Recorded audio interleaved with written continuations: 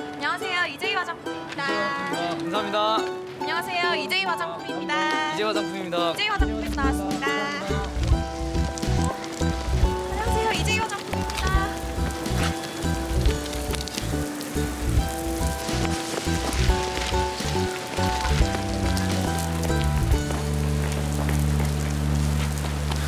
어, 괜찮아요? 와, 난 비 좋아하는데 아, 오늘은 싫다. 전단지도 다 적고.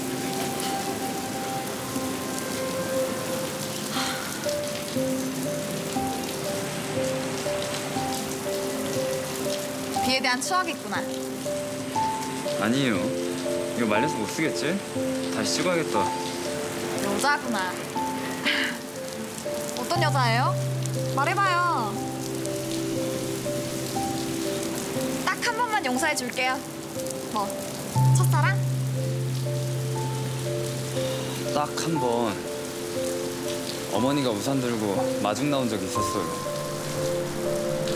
거봐요. 생각해보면 좋은 추억도 있잖아요. 좋은 추억?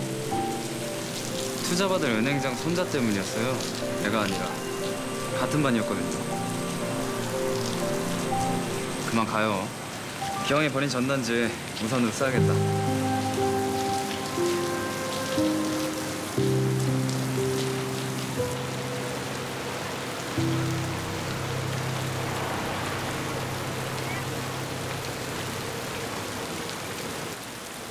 변호사 자격정지 1년인 걸 고맙게 생각해.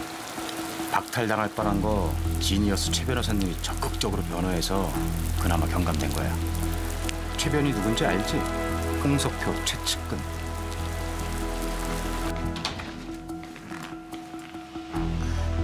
절 찾으셨다면서요?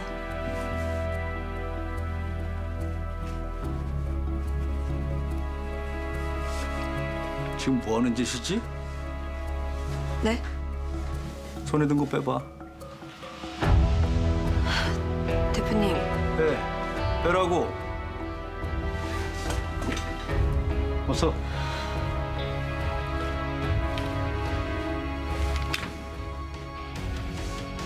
녹음?